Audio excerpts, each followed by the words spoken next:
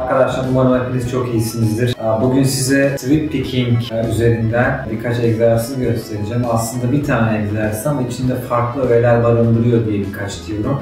Belki siz farklı çalışmak istersiniz. Hem 16'lık grupların olduğu hem de her vuruşa alt nota gelecek şekildeki grupların olduğu bir patern bu. Öyle tasarladım. Bunu herhangi bir backing track üzerine yapabilirsiniz. Sürekli 16'lıktan 6'lı gruba geçmek biraz değişik hissettirecektir. Onu çözmemiz gerekiyor. Arkadaşlar videoya geçmeden önce, derse geçmeden önce lütfen kanalıma abone olmayı ve videoyu beğenmeyi unutmayın. Desteğiniz çok önemli benim için. Şimdi bakalım.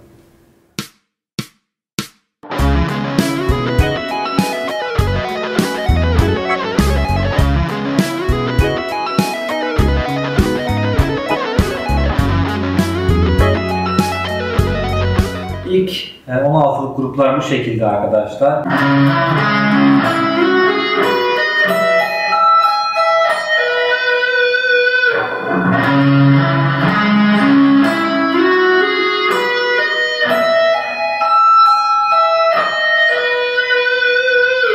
Arkadaşlar e, Groove Gear gibi bir şey kullanmayın bunu çalışırken. Benim şu an takılı kalmış. E, özellikle bu tarz bir teknik geliştirmek isterken sağ ve sol elinizle bu sesleri, gürültüleri kapatmaya dikkat edin. Yani e, sağ eliniz zaten kontrolde olsun. Bu e, sağ elinizle ilgili bir şey daha çok. Yani ben bunu her çaldığımdan sonra her notayı kapatıyorum.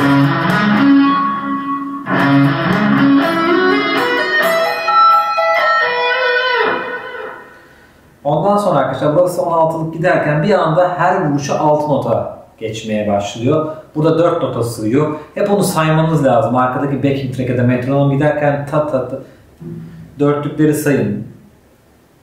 Diyelim parça bu şekilde gidiyor.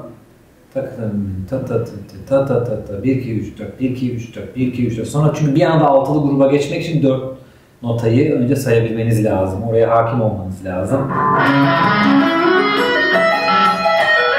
Şekilde e, direkt sizin için bir parça haline gelmeli bu grup. Hepsi hatta. Ama sadece sonra düşünmeniz gereken her vuruşa 4 nota sığdı. Hep bunu düşünün. Sonra arkadaşlar direkt buraya son notada kaldıktan sonra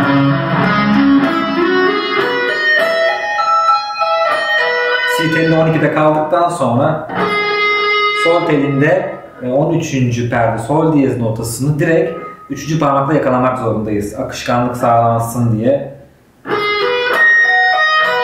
Direkt alt nota geliyor burada. 1, 2, 3, 1, 2, 3. Altı nota gruplara başladık burada. Bunları ayrı ayrı çalışmak isteyebilirsiniz arkadaşlar. Belki daha çok işinize yarar. Videonun başında onu söylemek istedim.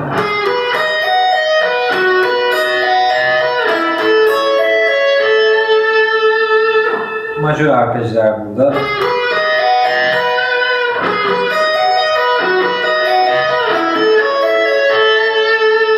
Sonra arkadaşlar sol diyez notasına 13. perdeye tekrar birinci parmağımızla geliyoruz. 3 ile başlamıştık. 1 ile oraya geliyoruz.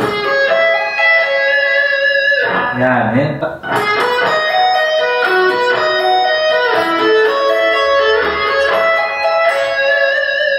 Daha sonra tekrar arpejimizin başında 16'lık notalara dönebiliriz. Her vuruşta 4 nota gelen notalara.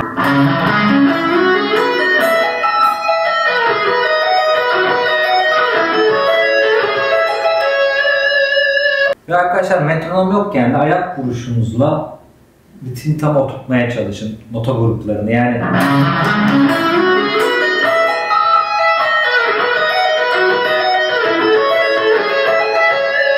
gibi. Yani e, evet metronomla çalışmak, backing track'le çalışmak çok önemlidir. Fakat onsuz da e, kendi içinizdeki ritimle notaları doğru yere düşürmek aslında başlangıç için daha önemli.